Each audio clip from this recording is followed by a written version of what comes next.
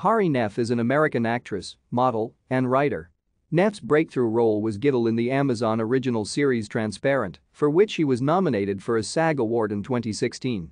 She made her runway debut at New York Fashion Week Spring 2015, walking for both Hood by Air and Eckhaus Latta, and subsequently became the first openly transgender woman signed to IMG Models.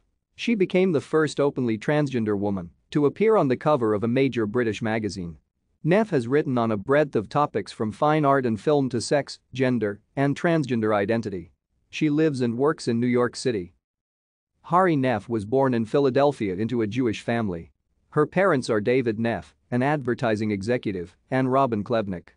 Her parents divorced when she was two, and she was raised by her mother in Newton, Massachusetts. Nef graduated from Columbia University in May 2015 with a degree in theater Nef starred as Tante Gittel in the 2015 Emmy-winning television series Transparent. Thank you for watching.